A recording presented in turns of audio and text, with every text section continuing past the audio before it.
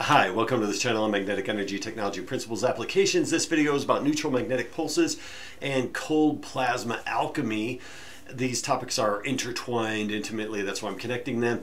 This is highly unconventional information, of course, and it's just a quick view into some of the research that's being done around the world that could have huge benefits for humanity.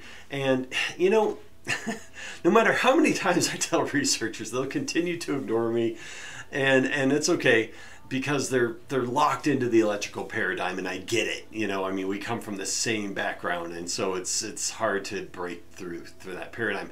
But let me just say this you cannot directly generate neutral magnetic pulses or produce neutral cold, cold plasma fields with electrical based technology. So let's just get that out of the way because that's the first thing that people are going to ask is you know can you do it with a, a generator and all these things?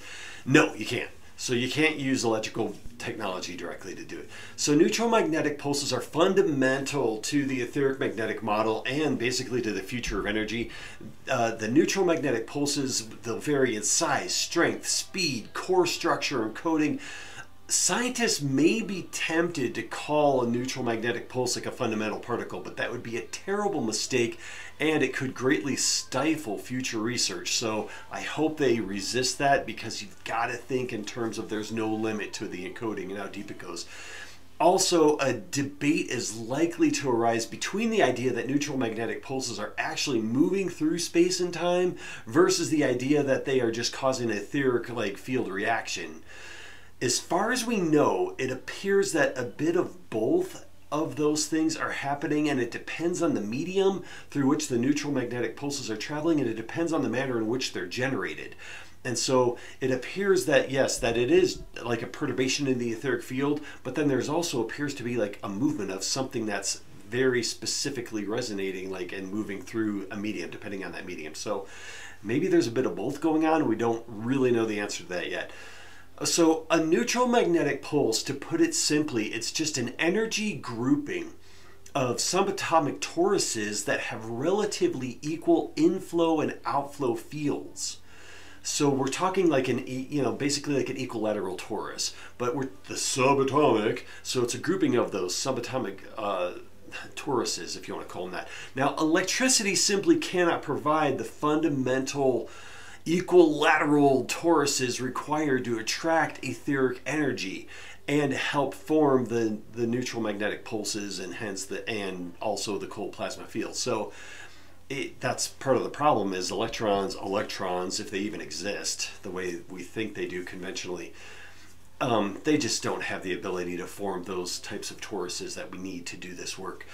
So we achieve the manifestation of neutral magnetic pulses through etheric extraction using either a blended or balanced magnetic fields that I've talked about a million times.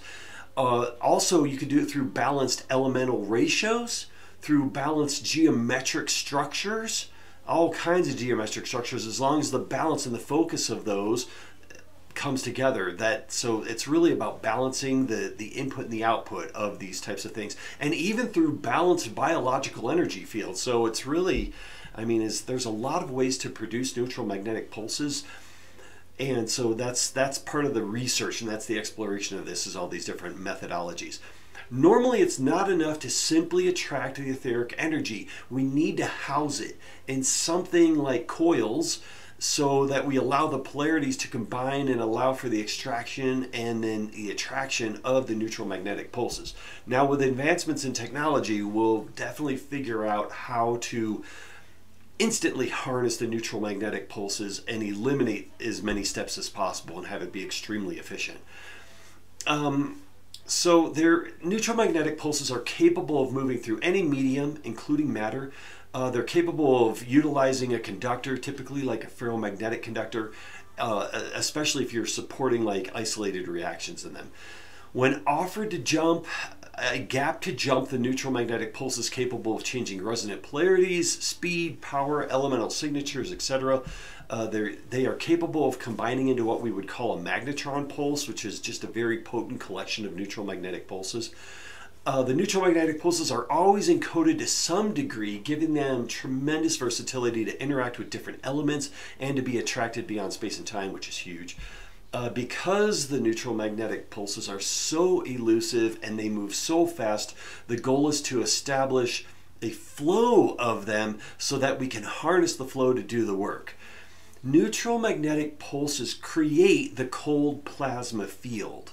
So let me just clear that up. So a basic method for, for generating these is to feed neutral magnetic pulses to a reaction point through attraction and pressure and allow them to naturally coalesce. Now, the composition of what we might call the electrodes or like the final point contacts before they jump the gaps is very critical to establishing like the elemental signatures. So, for example, neutral magnetic pulses fed through a copper coated steel wire to a gold electrode, like let's say you're feeding that down to a wire, okay? And then then you have the opposing electrode that has a gap that's adjustable. So if you have a gold electrode on one side and then you have a gold electrode on the other side of the gap, you basically create a gold resonance signature in the neutral magnetic pulses. Now this is very important because you can change those electrodes and change those signatures, those elemental signatures, and that becomes hugely important for different types of research. So as the neutral magnetic pulse pressure increases and the gap widens, as you widen the gap, the cold plasma field will begin to build. So you've got pressure and you've got it being attracted to jump that gap. So you're going to start to build that cold plasma field. As the cold plasma field builds, it will automatically form into a torus energy field that will manifest with counter rotating fields like toroidal fields.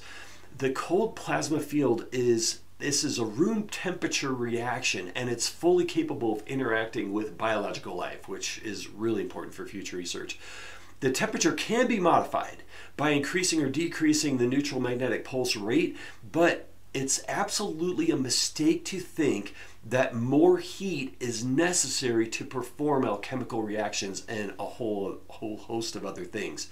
Please if you're doing this, if you're doing this in a lab, and I know different people watch this, don't get trapped in the heat world because more heat doesn't necessarily do anything for you. In fact, in a lot of ways, it's very counterproductive to the reactions that you want to take place, especially when you get up into like the thousands of degrees.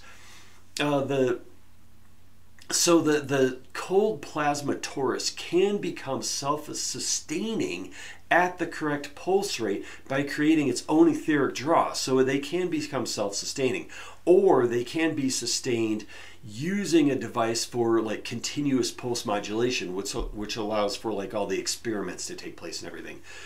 The alchemical component of the neutral magnetic pulsing and the cold plasma field lies in the elemental pulse matching, which allows the output of the torus to redefine molecular structures according to the cold plasma field pulse. So we are basically we are modulating the pulse rate of the cold plasma field torus and the counter-rotating counter-rotating toruses to mimic the pulse rates of various elements, that allows an interaction to take place. This process unlocks alchemical processes, rendering some of the current laws of physics obsolete. And so we are unlocking molecular structures.